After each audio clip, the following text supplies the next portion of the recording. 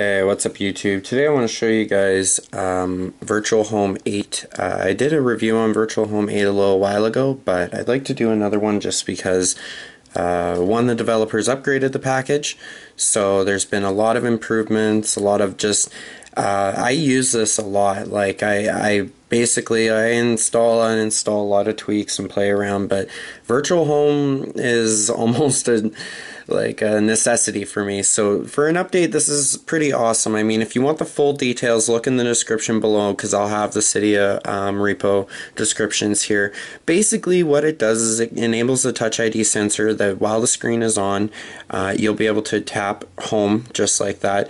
Uh, and you can also set up other things. So reachability still works for us iPhone 6 Plus, iPhone 6 users um, who need that reachability. Also, like I can do things like one, two, and hold. That'll bring up Siri. Hello, Siri. Okay, I found this on the web for that'll bring up Siri. And so, anyways, um, and another thing, like I've got the two, or er, hold on, sorry, it was double tap what is it? Single hold. There we go.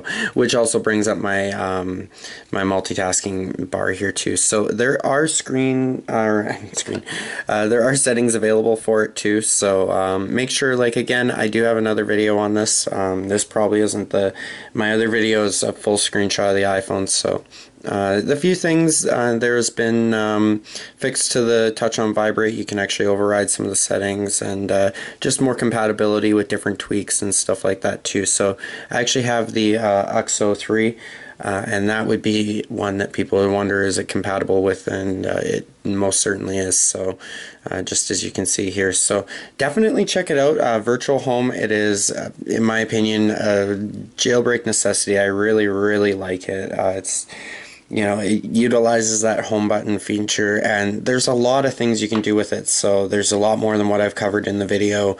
Um, I've actually considered doing it in depth just because the tweak is so big uh, and I may actually do that in the future so stay tuned maybe we'll see what comes of that. Anyways guys thanks for watching. Please rate subscribe to the video. Make sure you guys go um, pick up the new virtual home 8 update in Cydia and we'll see you again next time. Cheers